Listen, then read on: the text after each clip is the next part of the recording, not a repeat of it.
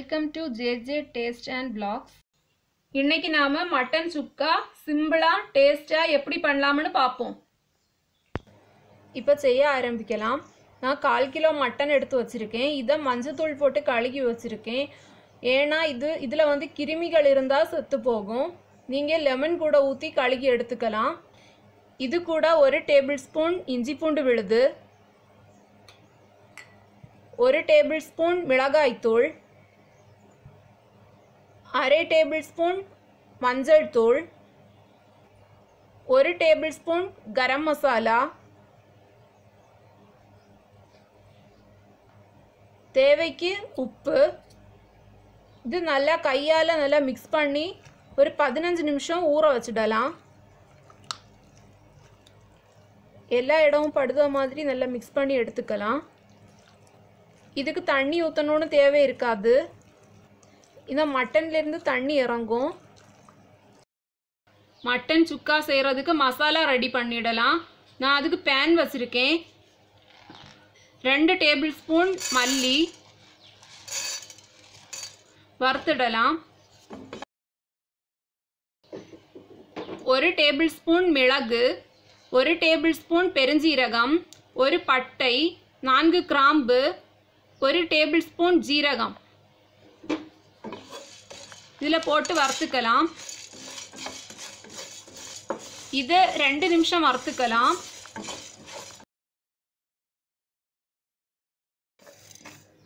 இப்போ மசாலா வறுபட்டுடுச்சு இதை மிக்சி ஜாரில் போட்டு பொடி பண்ணி எடுத்துக்கலாம்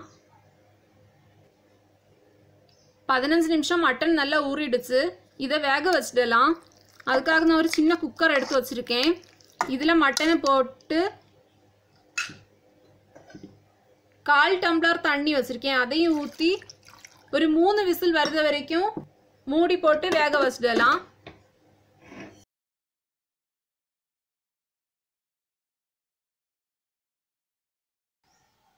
இப்போ மட்டன் சுக்கா செய்ய ஆரம்பிக்கலாம். ஒரு கடாயில் ரெண்டு டேபிள் ஸ்பூன் எண்ணெய் ஒரு பிரியாணி இலை ஐந்து கிராம்பு ஒரு நட்சத்திர சோம்பு ஒரு பட்டை ஒரு வெண்ணிலா போடு எடுத்திருக்கேன். இதை போட்டுக்கலாம்.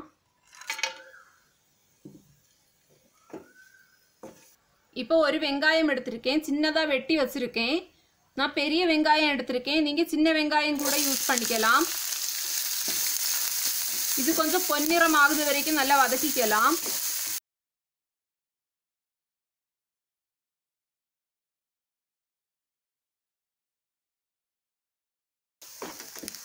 இப்போ பொன்னிறம் ஆயிடுச்சு. இதில் ஒரு டேபிள் ஸ்பூன் இஞ்சி பூண்டு போட்டுக்கலாம்.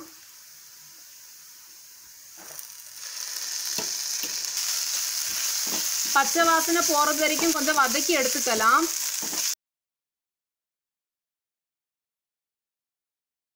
இப்போ வேக வச்ச மட்டனை சேர்த்துக்கலாம்.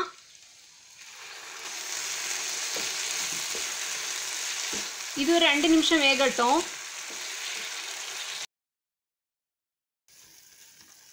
இப்போ தண்ணியெல்லாம் வத்திடுச்சு.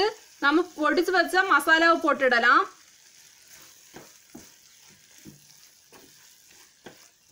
இதை கொஞ்ச நேரம் வதக்கி எடுத்துக்கலாம்.